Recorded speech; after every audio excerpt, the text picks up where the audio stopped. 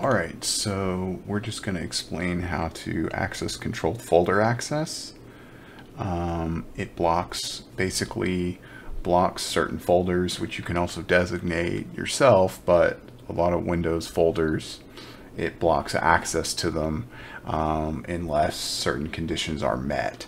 So a lot of programs, tons of programs use basically this C users, username, app data, it's stuff like it's anything in here in general, but like app data local is so you can see there's a ton of like almost every game they use them for save files, for saved data, settings, stuff like that. Like that's a very common one. So a lot of programs they a program can be made so that when it's installed manually Windows is like, all right, everything's fine, and it just lets them do it because they did something that met some condition within Windows. I don't really know anything about why, but some programs have a problem and you have to allow them through manually.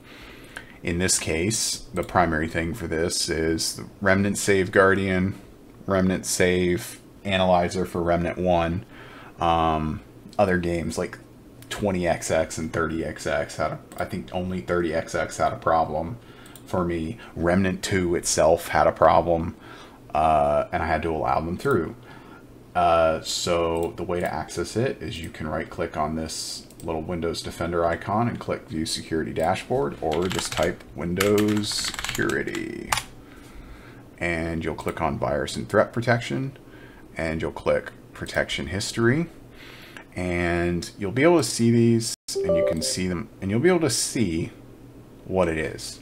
Like what was the file? What was blocked? You know it, it, this tried to access this you know I've allowed this through already but this was LibreOffice.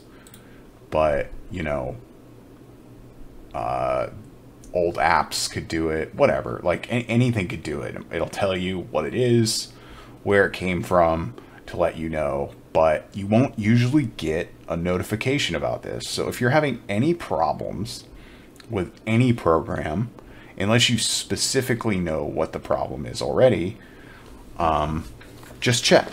Check this. This is like one of my first stops for almost any issue with a new program or an old program. Sometimes Windows just decides randomly that it needs to do this to you, even when it's been working before. So just check it protection history. Normally, if it's not already allowed, there'll be a button here where my mouse is hovering that says like you can just click allow app, allow through. But the other way is controlled folder access and then allow an app through controlled folder access. And you'll click yes. I wouldn't turn this stuff off. Leave it on. Just allow things through it manually. And you can just click these are things that are allowed. You can see this is a much shorter list of things than everything that actually exists um, in that folder. Like that was just one example folder, and there's there's quite a few. But you can click allow app, and you can recently blocked apps.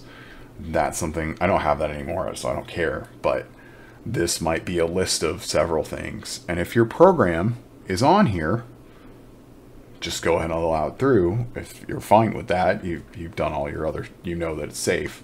Like for instance, Remnant Save Guardian. And you would just, you would just click the plus button for it and add it. You can of course browse all apps and go find something preemptively. Uh, the other thing you can look at, uh, this is just for your, you know, you can tell, you can say add a protected folder and you can designate anywhere on your computer and say if something messes with this, block it, which is just that that you should you should know how to do that sort of thing. Uh, block history goes back if you find yourself somewhere else, but I would leave this on, and that's it. Just do that. There's a good chance that it fixes your problem.